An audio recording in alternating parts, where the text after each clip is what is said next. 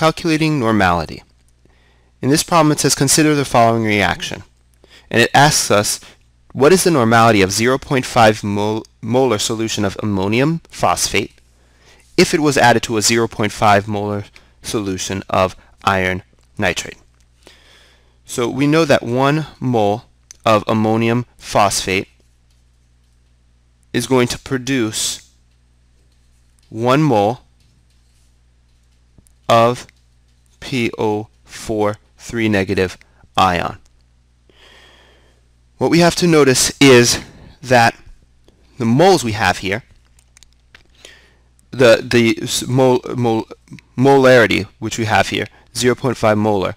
If we were to, let's say, try to find out the amount of ammonium phosphate, all I would have to do is multiply this mola uh, mol molarity times liters. So when I multiply them times liters, let's say 1 liter, I'm going to get 0.5 moles.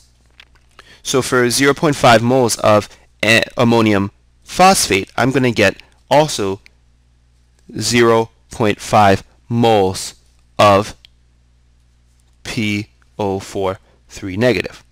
So we know that this is the case, so then it must mean that this is 0.5 normals. 0.5 normals.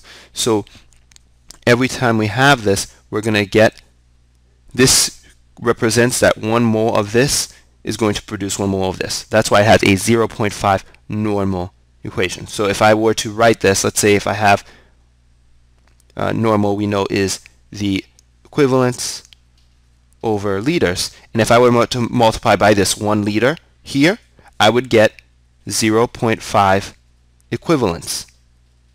And that just tells me that for every mole of NH4 3 PO4, I'm going to get 1 mole of PO4 3 negative.